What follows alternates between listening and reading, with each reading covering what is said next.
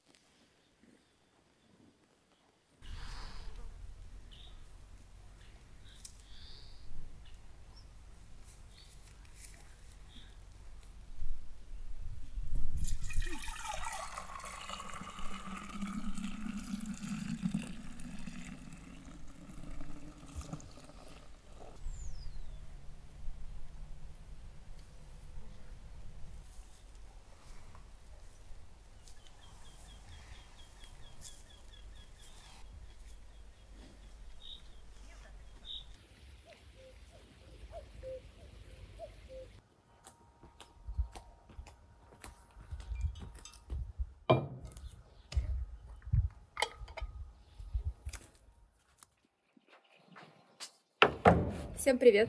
Сегодня у меня два рецепта украинского борща, зеленый и красный. Присоединяйтесь, будет вкусно.